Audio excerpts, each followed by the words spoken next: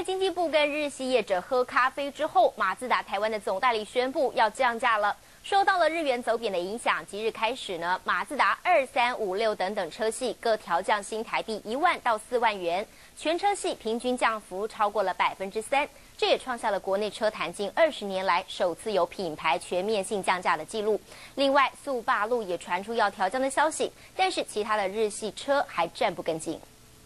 听到了马自达降价，消费者都说运气好，赚到了。现在就是什么都涨的一个年代嘛，然后就是最近就是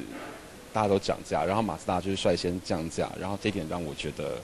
呃非常的有兴趣。会列入考虑啦，其实会增加购买的意愿，因为其实本来就蛮喜欢这一台的，那有在降价会觉得是更好的。为了反映日币降价，马自达率先降。马自达六尊贵型降四万，马自达三尊贵型降四万，马自达五降三万六，马自达二降两万，而马自达五七人座则是降一万，平均降幅达到了百分之三。但是厂商强调，央行如果持续策略性的操作台币对应贬值的话，他们不排除调回原来的售价。如果哎日币这个短期内突然又反过来走强上扬了，或者是台币继续的贬值的话，我们也不排除会调回原来的售价。